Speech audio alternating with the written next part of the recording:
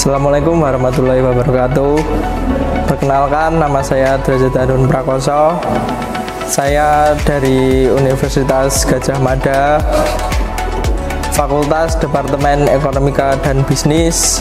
Prodi saya manajemen berlian properti.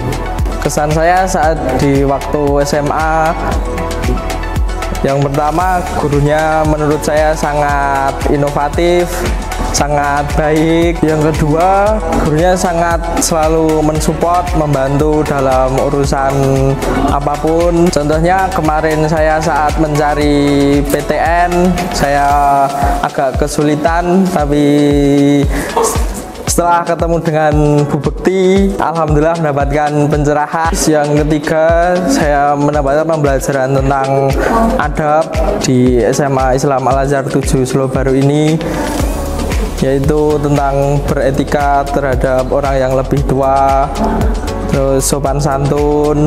Mungkin itu saja dari saya pesan dan kesannya. Sekian wassalamualaikum warahmatullahi wabarakatuh